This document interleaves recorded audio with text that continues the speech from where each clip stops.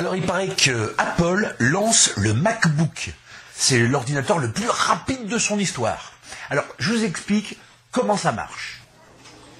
Bon, bah t'es là, dans une boutique Apple, juste pour jeter un œil, tu vois.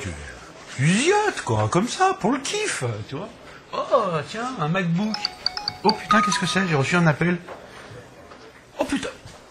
Attendez, mais je suis déjà prélevé 1800 balles Non mais attendez, j'ai- pas, j'ai même pas regardé encore Oh putain, effectivement, c'est rapide. hein.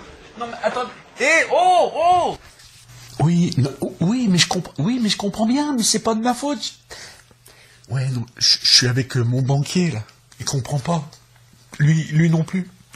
Oui. Non, je je suis dans le local d'entretien là du magasin. Les vendeurs me cherchent. Putain. Oui, oui. Mais dès que je suis libre, je, je passe vous voir. D'ici quelques jours. Parce que je pense que ça va durer là. Ouvrez, monsieur Bernard. Sortez d'ici, on sait que vous êtes là.